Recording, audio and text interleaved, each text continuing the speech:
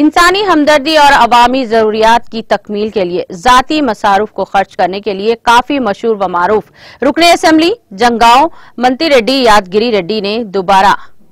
अपने फरक दिली का मुजाहरा करते हुए ज़िले मुस्तखर जंगाओं में जारी क्रिकेट मुकाबलों में आज शरीक होकर बगैर जूतों के खेल का शानदार मुजाहरा करने वाले गरीब मुस्लिम खिलाड़ी मोहम्मद अब्दुल्ला की पुरजोर सताइश की। अपने जाती अखराजात से स्पोर्ट्स शो खरीद कर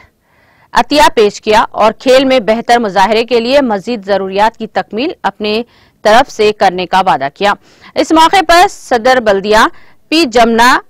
नायब सदर राम प्रसाद, सदर टाउन कमेटी व टूर्नामेंट के स्प्रिस T Suresh Reddy, floor leader Pandu, councillor Mohammad Abdul Samad, मावन रुकने बल्दिया Alhaj Mohammad Masiul Rahman, Zakir Patel, doctor K K Sultan राजा, मोहम्मद नूरुद्दीन और दूसरे कायदीन भी मौजूद थे। उन्होंने मोहम्मद अब्दुल्ला की जरूरियात की तकमील पर रुकने असम्बली से इजहार तशक्र किया और मोहम्मद अब्दुल्ला की बेहतरीन मुजाहरे पर ज़बरदस्त सताइश की।